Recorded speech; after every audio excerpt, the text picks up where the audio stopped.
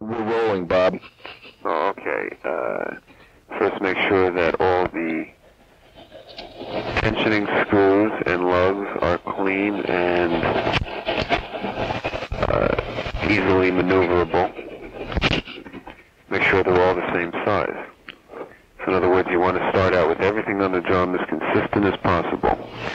I would use a ambassador, uh, a diplomat snare bottom, and an ambassador white coated batter head. Not the Duraline? No, we use a drum in the studio. Uh, I doubt if he's playing studio. He's probably, All uh, right, yeah. Well, tell him he can he can try the uh, a Duraline. that's what he's using now. He's using the Duraline concert head now on the drum. Uh, all right, the Duraline heads respond best when they're not tensioned too tight. They also respond better on a uh, deeper drum, a six and a half if he can get it. Mm-hmm. But I would suggest if he doesn't play too hard to use an ambassador, try an ambassador. Mm-hmm. Try to tension the um, the top head uh, three half turns of a. In other words, after he seats the head, Right. he should refer to our, our interview. Right, okay. Uh, after he seats the head, three half turns on the top, two half turns on the bottom, making sure that it's equal all the way around. And so the, the top head is now tighter than the bottom. Mm-hmm. Uh, and then put a small piece of felt covered by a piece of uh, duct tape in the lower left hand side away from him. Lower left-hand side away from him.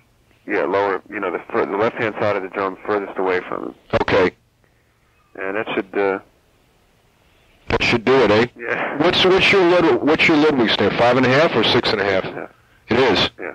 Okay. See, when you're getting into uh, the Duraline head, the problem with that is the company, the kind I use, the company doesn't make anymore. Uh huh. And see, I like the the snare concert flesh hooped Duraline. And they're hard to find. And they, when they put the aluminum hoop on, it did something to the tensioning properties of the of the head. Mm-hmm. Uh, it's where I find uh, the others work much better for me. Okay. Well, good. Tell them the, the main important thing to make sure that everything is uh, equal, and then when you uh, you have to depend on your ear. You know, Mm-hmm. uh, the main thing is that you should be able to get a pretty fat sound that way. That's kind of the way Russ was telling us to tune his drum. Yeah, and he he's an ambassadors, right? Too. Yeah, he is an ambassador. Yeah.